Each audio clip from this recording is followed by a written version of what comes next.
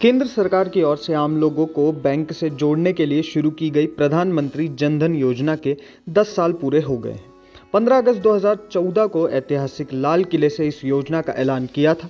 इस योजना की शुरुआत 28 अगस्त 2014 को पूरे देश भर में की गई थी, जिसके बाद से अब तक इक्यावन करोड़ से ज़्यादा अकाउंट खुले हैं। वहीं इनमें से 10 करोड़ से ज़्यादा बैंक अकाउंट डीएक्टिवेट हो चुके हैं। हैरानी की बात तो ये है कि इन बंद हुए बैंक अकाउंट में करीब बारह हज़ार करोड़ रुपए जमा है।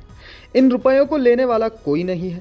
वित्त मंत्रालय की ओर से इस बारे में जानकारी दी गई है बता दें कि इस योजना के ज़रिए गाँव से दूर दराज के इलाकों में रहने वाले लोगों को फाइनेंशियल सिस्टम से जोड़ा गया है। इस योजना ने गरीबों को सरकारी योजना में फ़ायदा दिलाने में अहम भूमिका निभाई है।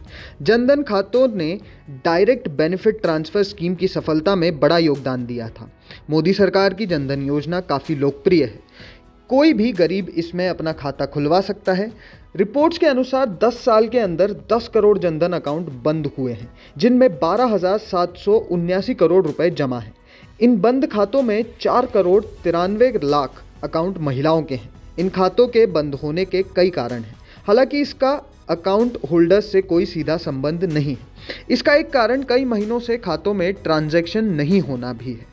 आरबीआई के दिशा निर्देशों के अनुसार, अगर खाते में दो साल से ज़्यादा समय तक कस्टमर कोई लेन देन नहीं करता है तो बचत और चालू खाते को निष्क्रिय माना जाता है। बैंक इन निष्क्रिय खातों के प्रतिशत को कम करने का प्रयास कर रहे हैं। बता दें कि जनधन खातों में न्यूनतम राशि रखने की ज़रूरत नहीं पड़ती है।